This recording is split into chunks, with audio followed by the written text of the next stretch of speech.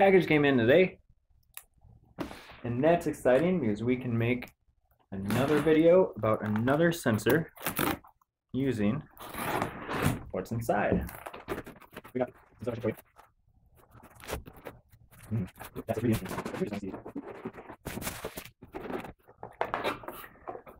We've got an FTC rescue beacon or color beacon.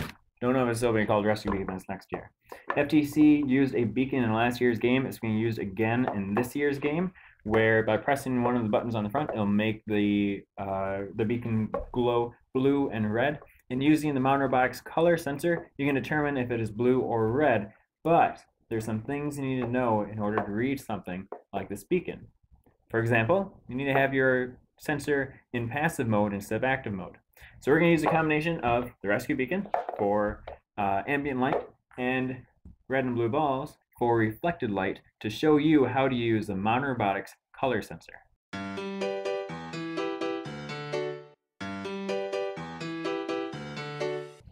The Modern Robotics color sensor has two modes. There's active mode and passive mode. Well, hey there. Active mode is great for things like line following or detecting the color of objects. Passive mode is great for detecting the color of lighting, like from the lights on the ceiling or from flashlights or from things like the FTC rescue beacon. We made a ball sorter to show active mode. This ball sorter is using a color sensor to detect the color of each ball and then moving the servo accordingly.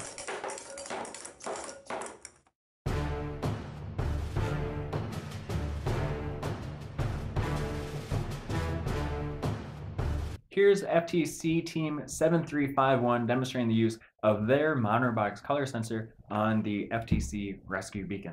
If it's blue, it will turn red, blue, red, blue. They have a pretty good looking YouTube channel. Be sure to check that out afterwards. I'll be sure to link that below. Both modes have a variety of readings. The simplest reading is a color number. This is one value that represents a range of colors in the color spectrum.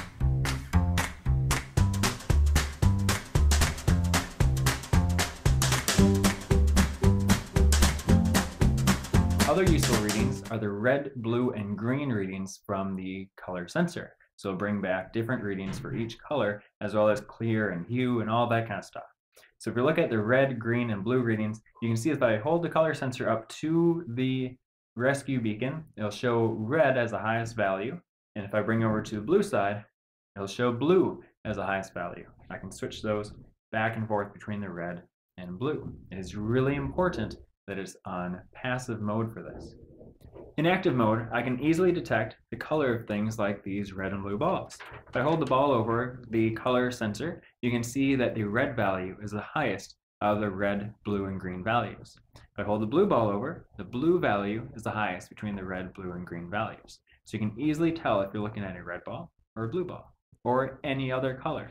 You can press the touch sensor on the program that you're going to write to change the LED, the color sensor between active and passive mode. So you can change it into active mode and then see how big a difference that makes when you're reading the rescue or the color beacon.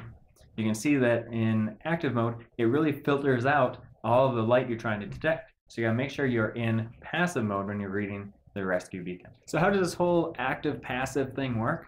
Well, in active mode, the LED is only on for half the time. There's the LED element of the color sensor and then the color detector. The LED will turn on and then the color detector will take a reading. And then the color, the LED will turn off and then we'll take another reading. We'll subtract the second reading from the first reading and that is actually the values that you get is the math of the subtraction between the two.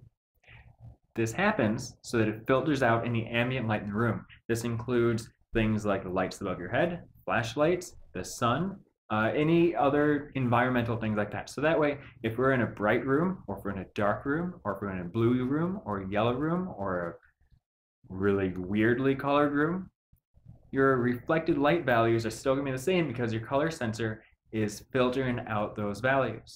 One thing it's really good at is filtering out the values coming from the color beacon or the rescue beacon. But this guy has a way to fix that. In passive mode, the LED does not turn on. It's simply reading what it sees without the reflected light. So it's seeing what light is out there in the environment. The readings are taken at either 50 hertz or 60 hertz. These 183 countries use 50 hertz for their main electrical power. These only 46 countries use 60 hertz for the main electrical power, and this includes the United States and most of North and uh, the northern part of South America.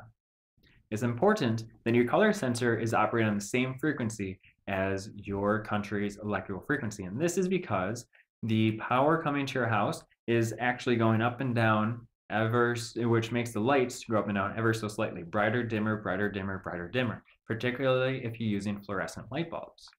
The color sensor should be reading always at the same phase. So it could be measuring at the, at the peak, at the trough, in the middle, doesn't matter where, as long as it's exactly on the same point in that phase.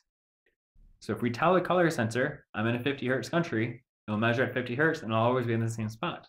Or if we're in a 60 hertz country, we tell it, hey, run at 60 hertz and always measure that same, the same spot. The default when you purchase a color sensor is 60 hertz, but you can change that and then the color the setting will stay with that color sensor no matter where you move it to until it's changed again. You can do this through Core Device Discovery or through the Start Spartan program. Hopefully, eventually, you can do it through the FTC SDK that's coming, but be sure to check out the feature pages to see how you can do that. This is just the first in a course on the color sensor. Be sure to check out the feature pages. If you're watching this on Twitter or YouTube, go to modernroboticsedu.com to see where you can find out more about the color sensor lessons and activities. And he'll have tutorials about how to program the sensor using Spartan or the FTC SDK.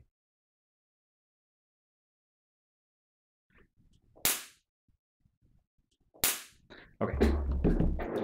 Now let's switch to the other side.